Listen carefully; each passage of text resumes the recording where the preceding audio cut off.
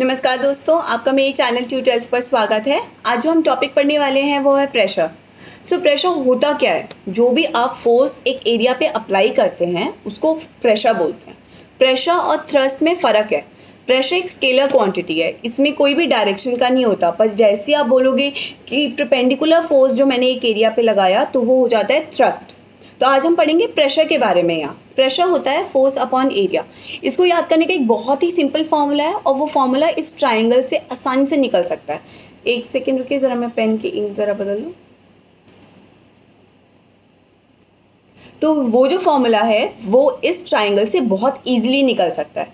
तो क्या है, आप एक ट्राइंगल बनाइए, उसमें आप एफ़ पी ए ये टर्म्स को मेंशन कीजिए और मेंशन करने के बाद एक हॉरिजॉन्टल लाइन बनाइए एफ़ और पी के बीच में, ये ऊपर से नीचे के बीच में ट्राइंगल को काटता हो और एक सीधी वर्टिकल लाइन बनाइए, ऐसे जैसे पी और ए के बीच में दिख रही है।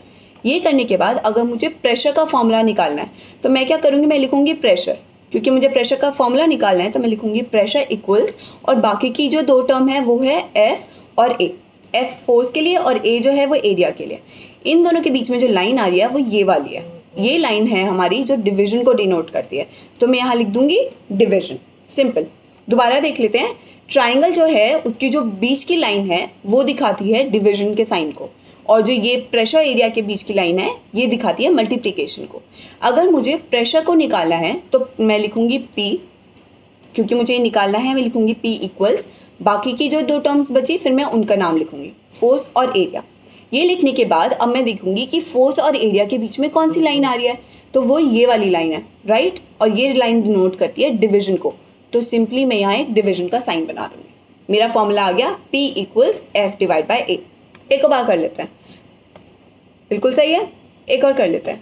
अगर मुझे फॉर एग्ज़ाम्पल निकालना है फोर्स का तो मैं क्या करूँगी? मैं लिखूँगी एफ़ इक्वल्स बाकी की दो टर्म्स क्या बची?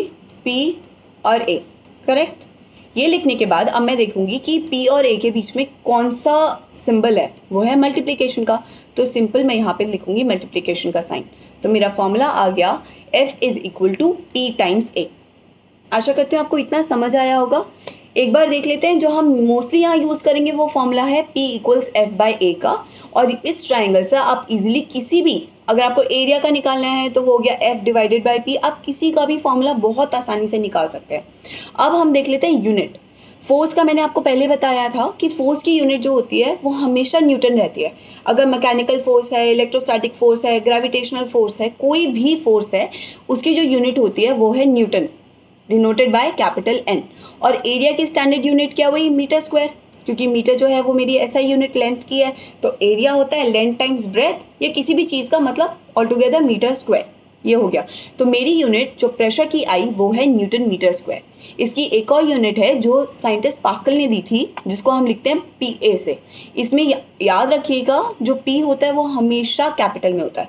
तो ये है pascal which is denoted by P A एक बार देख लेते हैं ऐसा unit of pressure is newton per metre square ऐसे लिखा जाता है या फिर पास्कल जो कि पी ए से लिखा जाता है। इसका फॉर्मूला है P equals F by A अब हम पी एफ़ और ए का रिलेशन देखेंगे। सबसे पहला रिलेशन है मानिए अगर मेरा ए कांस्टेंट है उससे पहले हम एक आ, अब हम इस क्वेश्चन पे बेस्ड इस फॉर्मूले पे बेस्ड एक क्वेश्चन सॉल्व करेंगे। तो क्वेश्चन है what is the pressure exerted simple हमें पता है प्रेशर का फॉर्मूला क्या है, हमारा P is equal to F upon A सबसे पहले आप ना फॉर्मूला लिख लीजिए और उसके बाद हम देखते हैं कि हमारे पास कौन कौन सी टर्म्स है और कौन कौन सी टर्म्स निकालनी है और फिर क्या यूनिट सेम है. न्यूमेरिकल करते हुए सबसे बेस्ट तरीका ये. तो फॉर्मूला है P equals F by A F हमारे पास 700 न्यूटन दे रखा है। एरिया जो है, वो मेरा वैसे तो ये स्क्वायर है, मुझे कैसे पता स्क्वायर है? क्योंकि इसकी जो लेंथ है और ब्रेथ है, वो सेम लेंथ की है, वो same two metre two metre है। बट अगर आपको नहीं पता तो सिंपल रेक्टेंगल का फॉर्मूला लगाइए two times two four metre square area भी आ गया। अब मैं यूनिट्स देखूँगी। फोर्स मेरा न्यूटन, सही। एरिया मेरा मीटर स्क्वायर बिल्कुल सही। अगर ये सेंटीमीटर में होता या किलोमीटर में होता तो मैं इसको कन्वर्ट करती।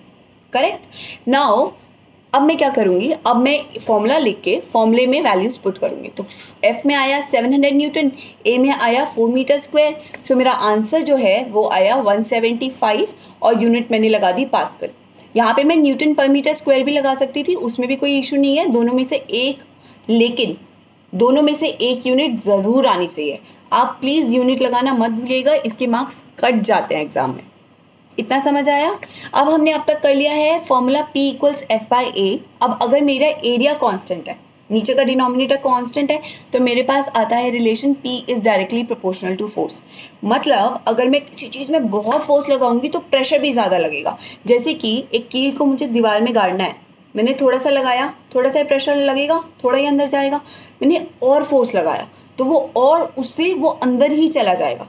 समझ रहे हैं? प्रेशर से जो कील है, वो दीवार में धस जाएगी। तो जितना ज़्यादा फोर्स लगाएँगे, उतना ज़्यादा प्रेशर लगेगा। दूसरा है, अगर मेरा फोर्स कांस्टेंट है तो एरिया से। तो प्रेशर जो होता है, वो मेरा एरिया से इन्वर्सली प्रोपोर्शनल होता है। इसमें मैं क्या करूँगी? एक पेन लीजिए और दोनों तरफ़ से उसको दबाइए। सेम फोर्स लगाना। तो जब आप दबाएँगे तो आप देखेंगे कि जहाँ पे उसकी निब है, जहाँ पॉइंटेड एंड है, वहाँ से आपके यहाँ पे निशान बन जाएगा। पेन का निशान नहीं, दबने का निशान। और जो दूसरा एंड है, जो स्मूथ पार्ट है, वहाँ पे आपकी फिंगर पे कोई प्रिंट नहीं बनेगा। तो इससे हमें पता लगता है कि यहाँ पर ज़्यादा प्रेशर लगा, क्योंकि यहाँ एरिया कम था। इसका मतलब जितना कम एरिया उतना ज़्यादा प्रेशर इसी बेसिस पे बहुत सारी चीज़ें जो आपने आसपास देखी होंगी, हम अभी डिस्कस करेंगे। तो सिंपल है, अब हमें पता कैसे चलता है डायरेक्टली और इन्वर्सली का? फिजिक्स में हर चीज़ रटनी नहीं होती है। We can easily find it out कैसे? हमें अब तक पता चल चुका है प्रेशर का फॉर्मूला होता है फोर्स अपॉन एरिया राइट तो जो भी मेरा यहाँ पे चीज़ लिखी होती है, अगर मुझे उससे रिलेशन निकालना है तो जो भी फॉर्मूला इक्वल टू के इस साइड पे राइट साइड पे न्यूमरेटर में होता है, वो सारा होता है डायरेक्टली प्रोपोर्शनल और जो भी सब डिनोमिनेटर में होता है, वो सब होता है इन्वर्सली प्रोपोर्शनल तो अगर ऊपर मेरी दो टर्म्स होंगी तो जो यहाँ का टर्म है लेफ़्ट हैंड साइड का टर्म है, वो उन दोनों टर्म्स के डायरेक्टली प्रोपोर्शनल होगा. सिंपल तरीका. हो गया? अब हम देखते हैं कि ये इस फॉर्मूले पे बेस कौन कौन सी चीज़ें होती हैं हमारे आसपास। सो so, सबसे पहले है cutting edge of a knife is sharp इसका सिंपल रिलेशन है P is inversely proportional to area आइए देखते हैं कैसे। तो आपने देखा होगा कि लोग बटर नाइफ यूज़ करते हैं बटर लगाने के लिए और कुछ काटने के लिए बटर नाइफ यूज़ नहीं हो सकता। जैसे अगर आपको तरबूजा काटना है तो आप बटर नाइफ से नहीं काट सकते आप चक्कू से काटेंगे। क्यों? क्योंकि बटर नाइफ का जो एज होता है वो शार्प नहीं होता है। बट एक नाइफ का जो एंड होता है, वो नुकीला होता है। क्यों होता है? वो शार्प क्यों होता है? क्योंकि जितना कम, जितना ज़्यादा शार्प होगा, उतना कम एरिया होगा। जितना कम एरिया होगा, उतना ज़्यादा प्रेशर अप्लाई होगा, क्योंकि प्रेशर जो होता है, वो एरिया के इन्वर्सली प्रोपोर्शनल होता है।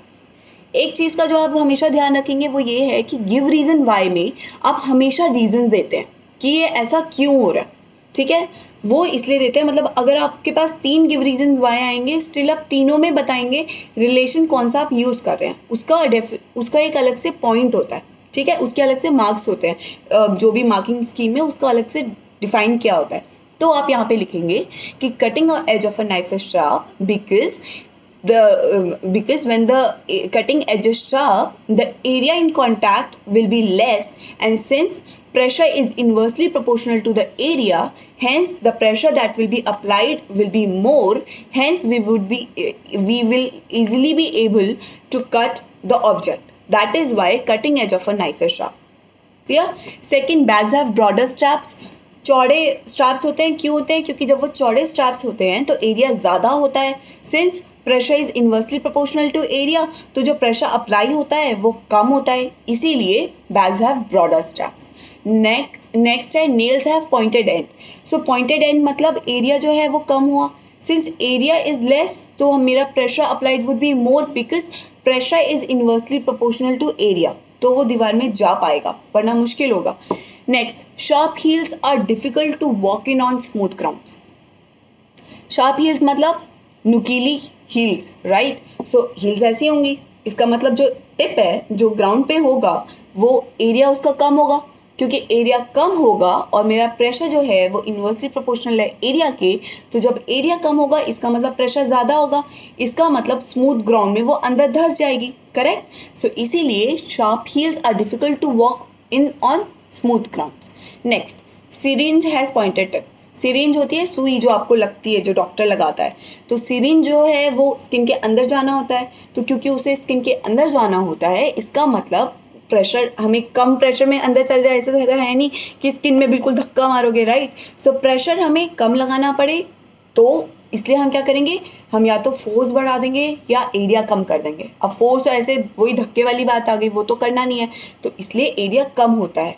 सिंस इसमें आप लिखेंगे has pointed tip because that will give it less area and since pressure is inversely proportional to area so the pressure applied would be more and syringe would easily be able to penetrate our hand ठीक है? अगला है potters keep a round piece of cloth on the head तो potters आपने देखा होगा, कुली जो होता है, वो ऊपर ना हेड पर एक राउंड पीस ऑफ़ क्लॉथ रख देते हैं। ये क्यों होता है? ये होता है बिकॉज़ जब आपका ऊपर एक राउंड पीस ऑफ़ क्लॉथ रखा होता है तो एरिया बढ़ जाता है। Since pressure is inversely proportional to area तो जैसे ही एरिया बढ़ा, आपके सर पे कम प्रेशर लगेगा। अगला buildings have wide foundation buildings की नीचे जो फाउंडेशन होती है, वो चौड़ी होती है। वो चौड़ी क्यों होती है? वो चौड़ी इसलिए होती है ताकि ऊपर से जो प्रेशर लग रहा है जब हमारा एरिया ज़्यादा होगा तो प्रेशर अप्लाई कम होगा तो ऊपर जो बिल्डिंग पूरा उस फाउंडेशन पे प्रेशर लगा रही है, वो कम हो जाएगा। Because pressure is inversely proportional to area I hope the pressure is clear to you ये दो टाइप का होता है liquid pressure and air air pressure basically fluid pressure हम वो नेक्स्ट उसमें पढ़ेंगे. Let's just summarise quickly what we have just done so pressure जो है, वो basically it is the force that is applied per unit area force pressure का formula होता है P equals F divided by A next ये scalar quantity होता है. Thrust जो होता है, वो एक वेक्टर क्वांटिटी होता है.